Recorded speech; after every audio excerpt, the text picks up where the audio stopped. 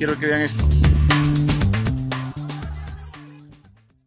Hola, es Claudia Orellana y el día de hoy vamos a hablar del 25 de noviembre, Día para la Sensibilización y Denuncia de la Violencia contra la Mujer, que es una de las violaciones de derechos humanos más persistente, extendida y devastadora que impide el desarrollo integral de las mujeres y empeora al considerar cofactores como la raza, la etnia, la condición económica, la posición social, el estado de salud, el nivel educativo, entre otros. Desde la pandemia del COVID-19, los casos de violencia denunciados han aumentado. Según el informe de la ONU Mujeres desde 2021, la violencia contra la mujer en la pandemia aumentó en la esfera privada, en contra de mujeres desempleadas, estudiantes y cuidadoras a tiempo completo.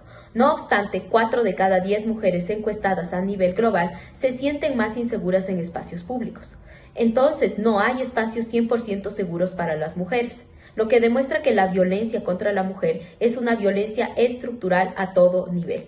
Pensemos el rol del Estado, que en teoría tiene la obligación de garantizar los derechos humanos, el acceso a la justicia y la no impunidad en los casos de violencia contra las mujeres, pero la realidad demuestra lo contrario.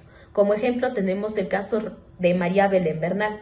En cuanto al rol de la empresa privada que influye en la violencia estructural, al no eh, tener medidas laborales que permitan la conciliación de la vida privada, laboral, familiar, el techo de cristal, las diferencias en la remuneración, inexistencia de lactarios para las madres y la población civil también influye. Por ejemplo, en la violencia simbólica, que es tácita e inconsciente, que se imita y aprende a través del lenguaje, costumbres y la educación. Entonces es normalizadora de normas y roles de género tradicionales.